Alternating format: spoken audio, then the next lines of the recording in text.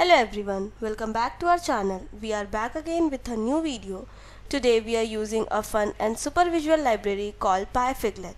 It lets you turn boring text into awesome ASCII art in seconds. So to run PyFiglet in your system, firstly you need to install this library. For that you have to write a command that is pip install pyfiglet. Then in the example here, firstly you have to import pyfiglet library to use its ASCII art features and then pyfiglet.figlet format python. Here this converts the word python into large styled ASCII text and print ASCII art here. This prints the big ASCII version of Python in the terminal and same we are doing with this program also. So let's see its output what this gives. So as we can see this gives a very nice output. So this small code creates large style text that looks super cool on the terminal.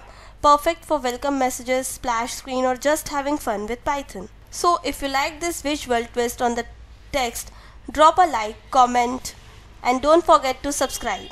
So thanks for watching this video.